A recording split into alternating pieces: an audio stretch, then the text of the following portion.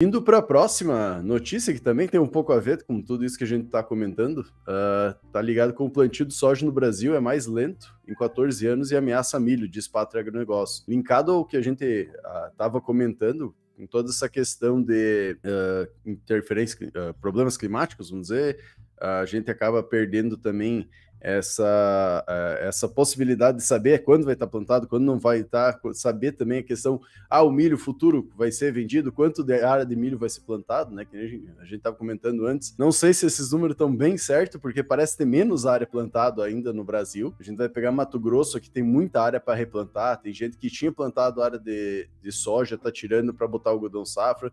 Tem gente que plantou soja, ele tá morrendo de seca, enquanto o do vizinho tá verde, né? Porque não tem uma chuva parelha ainda. Às vezes tem algumas micro-regiões que só lá chove, logo 20 quilômetros para frente já não chove. Então tem áreas que tá morrendo soja. O que, que o cara vai fazer? Vai plantar novamente soja? Vai entrar para o milho safra?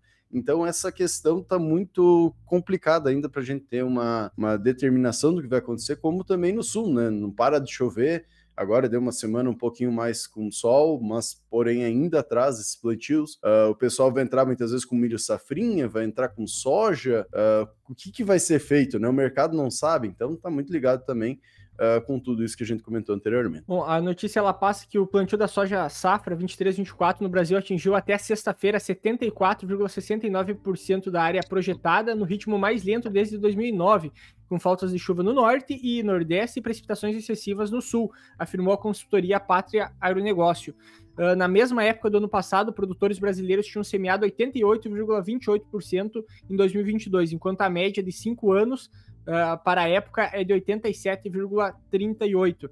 Então a gente é, é, evidente que tem essa redução, né? Que está sendo é, de forma mais lenta a semeadura no Brasil inteiro. Até a gente comentando nos bastidores, né? Que talvez alguns números não estejam tão concretos ainda, uh, que possivelmente tenha uma semeadura menor ainda do que está sendo informada, e como o Cassiano bem comentou, tem mais a questão das áreas de replantio, então não é só áreas de semeadura, tem muitas áreas para ser replantada, que isso aí também afeta diretamente, e tem outras notícias também, que foi uh, na, quando a gente estava buscando as notícias da semana, uh, por exemplo, de redução de área de milho, questão de aumento de área de algodão, por exemplo, também, que poderia estar ocorrendo, em função que o pessoal não vai plantar milho, vai entrar com uma cultura do algodão, e teria um, um recorde até de área de, de semeadura de algodão, e, e a gente vê como isso pode estar afetando, como o Cassiano bem comentou, a gente não vai saber exatamente como se prepara para esse mercado, que ele está muito. Uh, ele vai acontecer de forma muito rápida, por exemplo, quando der condição mesmo serve aqui no sul. Nesses últimos dias parou a chuva, o pessoal já estava semeando no barro praticamente.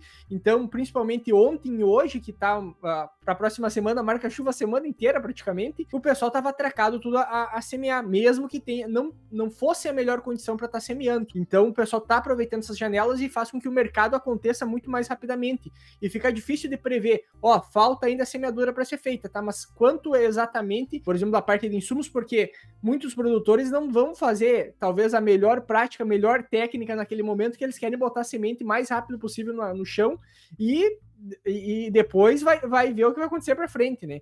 Então fica muito difícil a gente prever exatamente como vai acontecer, como vai girar esse mercado e as consequências também dessa implantação da cultura e os desafios que a gente vai ter ainda para frente. Muito desafiador essa safra, muito desafiador eu tô, hoje eu estou gravando aqui em Passo Fundo, aqui no Rio Grande do Sul. A semana passada passei toda semana no Mato Grosso. A gente vê realidades totalmente diferentes, né? É, mas é, o que é importante a gente observar disso, disso tudo, né? É, o fato, os fatos que estão acontecendo. É, uma, uma safra jamais vista.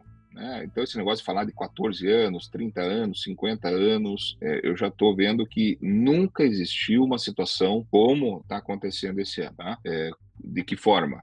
Esse excesso de chuvas que acontece no sul do Brasil é mais visto. Né? Tem lugares aí de desses últimos praticamente três meses aí, desde o início de setembro, nós estamos falando de lugares de 1.800 milímetros acumulados, entre 1.200 e 1.800. Essa é a média. Imagine que o Rio Grande do Sul tem uma média anual em torno de 1.700 a 2.000. Então, essas regiões, em três meses, já choveu o equivalente a de um ano inteiro. E, no, e quando a gente vai para o Mato Grosso, né, é, varia de quase nada quase nada de chuva até 600 milímetros, né? Quando a gente é, fala quase é, nada é porque deu algumas chuvas de né, 20, 30 milímetros, teve lugares 60, agora nessa última semana uh, teve lugares que choveu um pouco mais, né? Tanto é que eu falava na, no nosso nossa previsão da semana passada no Momento Agro que essa semana passada era a melhor, é, era a melhor previsão para o Mato Grosso. E foi, mas ainda não foi uniforme. Né? Não da choveu safra, para ele. Não choveu para ele. E é para essa semana tá seco de novo. Né?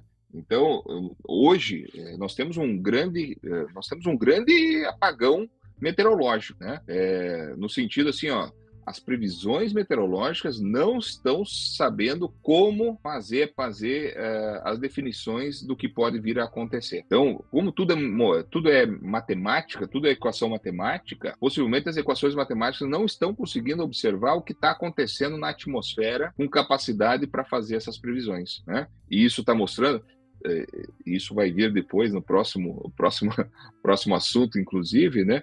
Mas isso demonstra o quanto que nós estamos tendo problema é, dessa safra é, atualmente, né? Então isso tudo, é, o impacto, nós já temos impacto forte e ele pode ser mais forte ainda sobre a questão da produção. Soja já está limitado. Eu, eu, eu gostaria até de já fazer alguns números, colocar uns números com a visão de hoje, né? Hoje 26 de novembro. Se a previsão inicial de soja no Brasil era de 165, mil, 165 eh, milhões de toneladas, lembrando que no ano passado foi 155, e a minha visão é que bem possível que o Brasil não consiga produzir entre 140 e 145 milhões de toneladas de soja total. Tá? É, por tudo, assim, ó, precisa acontecer muita coisa boa para atingir 145 milhões de toneladas. Olha o que eu estou falando. Não é que tem que piorar.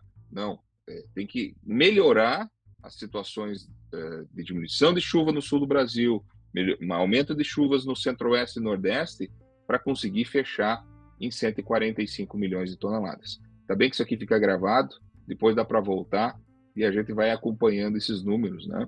E milho, e milho, nós temos uma grande incógnita. É, a pergunta é: até quando que nós teremos chuvas no centro-oeste? Essa chuva vai só até o final de março? Vai até final de abril? Vai entrar em maio adentro? Vai chegar a junho? A probabilidade é que não chegue tão longe em anos de El Niño. Aliás, já vou fazer, fazer um, um comentário que em dezembro nós vamos fazer é, dentro do nosso Conexão Pro, nós vamos fazer toda uma análise de risco com relação uh, a milho em diferentes tipos de fenômenos, como aquele que nós fizemos webinar nesse mês com relação à soja. Nós vamos estar fazendo um webinar também em janeiro, mas para o No Conexão Pro, com exclusividade para quem é nossos assinantes da Academia da Autoprodutividade. Nós vamos estar levando essas informações, porque essa é a grande incógnita que está acontecendo. Como tem uma grande incógnita, a gente não consegue falar o quanto vai ser a área de milho, a gente não consegue falar em área de milho, a gente não consegue falar em perspectiva de produção, a gente não consegue falar em a única coisa que a gente consegue falar é que a tecnologia vai ser mais baixa, que a área vai ser mais baixa. Agora, quanto mais baixa vai ser e quanto mais baixa vai ser a tecnologia, né, a intensidade disso, é que é, tem, nós temos dificuldade de estar tá falando. É, até a questão dos produtos, né? Tu vai ver, tem o mercado de milho tem todo, pra, todo não, mas uma maior parte, vamos dizer, ainda para rodar e vai rodar lá em janeiro, se bobear, ó, final de dezembro, alguma coisa, porque o produtor não sabe também o que fazer direito. E ele vai querer esperar e ficar mais em cima do laço possível, que pode ter um desabastecimento depois, digamos, se o clima favorecer o plantio do milho de produtos até, de insumos, né? Tanto semente, quanto outros insumos, porque as empresas muitas vezes não conseguiram se organizar para ter o estoque em casa, né? Muitas vezes até tem comprado, mas não, não chegou. E pode e essa questão de baixa tecnologia está também ligada a isso, né? Além de preços e tudo mais que está tá trazendo, também essa falta de organização do, da cadeia logística, vamos dizer assim, para a entrega desses produtos. Então, realmente um ano aí que tem tudo para ser muito desafiador, que a gente vai ver muita coisa acontecendo no campo, né? Pra, vai ser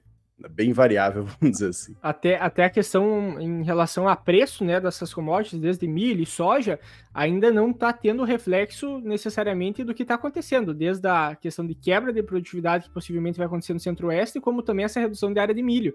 Então ainda a gente vai ter reflexos nos preços dessas commodities, possivelmente nos próximos dias, quando essas uh, começar a ser definido realmente tamanho diário, tamanho da, realmente da perda que vai estar tá acontecendo, e isso vai refletir, obviamente, diretamente no preço, né? Sim. É, tá totalmente ligado com a próxima notícia, né? Querendo ou não, essa questão climática, então,